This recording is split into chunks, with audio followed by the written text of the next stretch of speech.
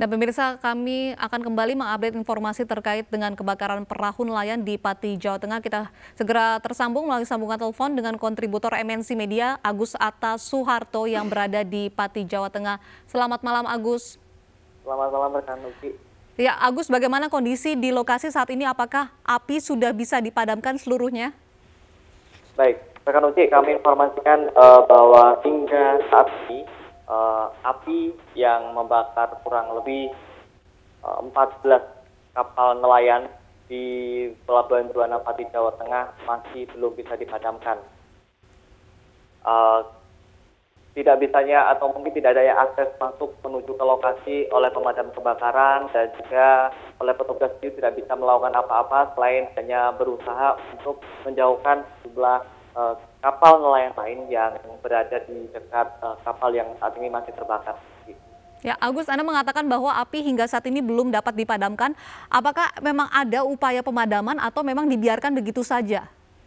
Uh, karena memang kondisi uh, Medan uh, kurang lebih berada satu kilometer lebih dari Pelabuhan Juana, itu sudah masuk dalam uh, wilayah dari Pulau Serapat, uh, lebih-lebih kenal dengan uh, wilayah Pulau Serapat dan itu memang tidak ada akses uh, uh, akses masuk untuk ke sana karena sudah jalan hanya ada jalan setapak yang hanya dapat dilalui oleh kendaraan bermotor saja. Hmm, berarti tidak ada petugas pemadam kebakaran di sana, Agus? Tidak ada. Hmm.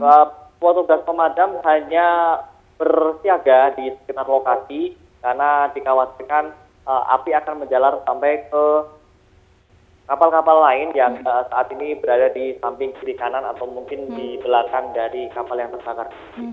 Lalu apa upaya yang dilakukan oleh warga di sekitar sana? Untuk saat ini uh, warga tidak uh, hanya berupaya untuk uh, semakin menjauhkan kapal-kapal uh, nelayan yang lain yang ada yang berada di sebelah kiri dan kanan uh, dan juga dari belakang dari kapal yang terbakar itu tanpa melakukan tanpa bisa melakukan apa-apa rekan karena memang tadi pertama ada adanya akses uh, jalan menuju ke di kebakaran dan juga memang sudah tidak ada uh, hal lain yang mungkin bisa dilakukan oleh warga kecuali membiarkan api uh, padam dengan sendirinya. Hmm. Ya Agus, apakah dengan kebakaran belasan perahu nelayan ini mengganggu aktivitas para nelayan dan juga bagaimana nasib dengan para nelayan yang kapalnya terbakar?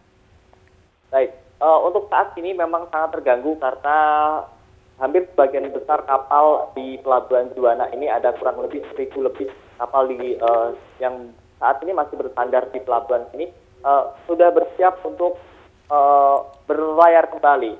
Satu mereka masih menunggu uh, legalitas untuk perizinan mereka. Yang kedua kebanyakan sudah mulai mengisi kapal-kapal uh, mereka dengan perbekalan, termasuk juga uh, dengan BBM uh, yang akan mereka gunakan untuk berlayar nanti.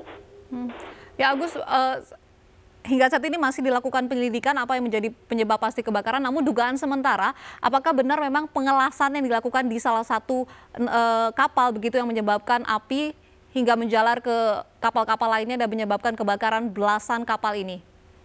Baik, dari informasi yang kami dapatkan dari Sabandar maupun juga dari uh, Pol Air uh, bahwa memang dugaan kuat dari penyebab kebakaran sendiri adalah adanya percikan api saat kelasan uh, terjadi. Sementara uh, saat yang bersamaan juga salah satu kapal dari nelayan uh, itu juga sudah penuh dengan uh, perbekalan termasuk juga BBM tadi. Ada kurang lebih 25 drum BBM yang saat itu berada di dalam dan akhirnya terkena percikan api dari proses pengelasan tadi.